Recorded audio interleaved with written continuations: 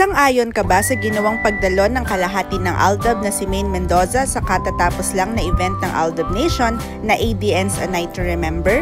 Pero bago yan, i-shoutout muna kay Nishli Babero for her comment. Patuloy lang na mag-like, share, comment, and subscribe sa aming channel para lagi kang updated sa showbiz happenings.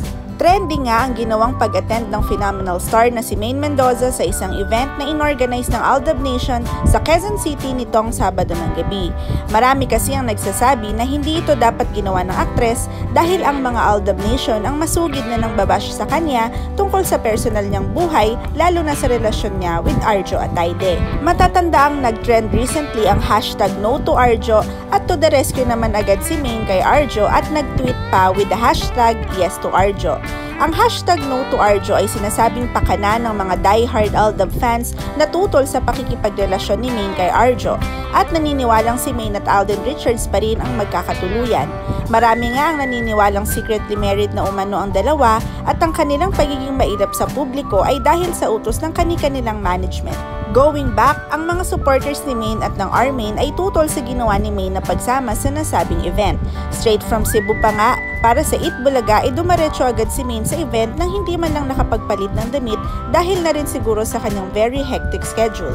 But the bottom line is, she made an effort and time to be with her supporters. Patunay lang kung gaano kamahal ni Maine ang mga fans niya. Dahil dyan ay binatikos naman ng ibang fans ni Maine at ng Aldab ang hindi pagsipot ni Alden sa event. Sa isang video nga na ni-record ni Alden ay humihingi ito ng paumanhin sa Aldab fans dahil hindi umano siya makakadalo dahil sa kadahilan ng nasa kalagitnaan pa siya ng kanyang rehearsals.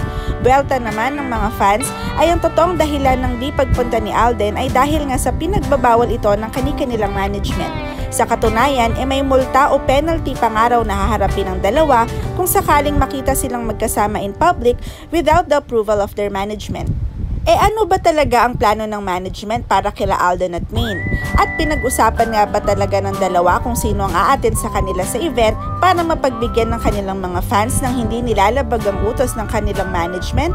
Comment na!